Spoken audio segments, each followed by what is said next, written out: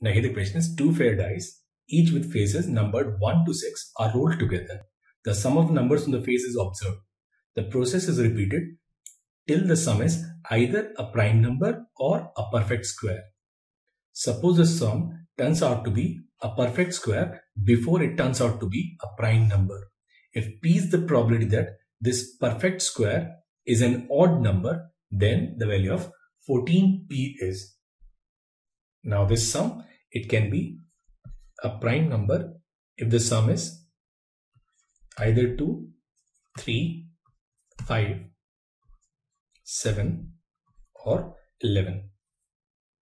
Now we'll get 2 if we have 1, 1. For 3 it will be 1, 2, 2, 1. For 5 it is 1, 4, 2, 3, 3, 2, 4, 1 7 is 1 6 2 5 3 4 4 3 5 2 6 1 and 11 is 5 6 and 6 5 so we have 5 and 5 10 and 5 15 so there are 15 possible cases so the probability that this sum will be a prime number will be simply 15 by 36. Now it will be a perfect square if the sum is either 4 or 9. Now it will be 4 if it is 1 3 2 2 and 3 1 and it will be 9 if it is 3 6 4 5 5 4 and 6 3 so probability that this sum it is a perfect square it is 7 by 36 now we have two events. Say this event a when the sum turns out to be a perfect square before it turns out to be a prime number. So we'll find this probability of a now it can be a perfect square on the first row. So it will be this 7 by 36 plus now we need to get a second attempt and we'll get a second attempt.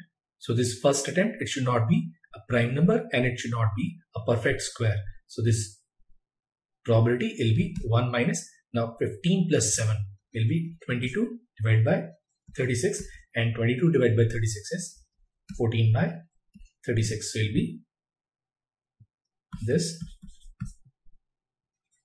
14 by 36 and then on the second attempt we get this as 7 by 36 now we don't get a perfect square. On the first two we get it. On the third so it will be this 7 by 36 and we'll continue up to infinite. And then we have this event b that this perfect square is an odd number.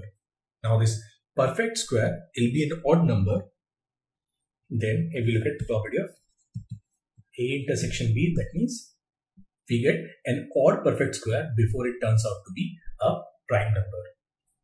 Now it will be an odd number if we have this sum as 9. So this success will be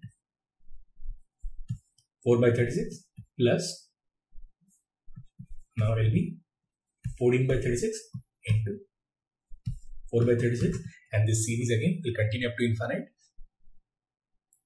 So this required probability of B if A has already happened will be this GP 4 by 36 plus 14 by 36 into 4 by 36 up to infinite upon 7 by 36 plus 14 by 36 into 7 by 36 up to infinite. Now this is a upon 1 minus r and this also is a upon 1 minus r. I'll cancel. 36 will also cancel. So this conditional probability will be simply 4 by 7. Now we need to find the value of 14p. So the value of 14p will be simply 8 and that is the answer to this question.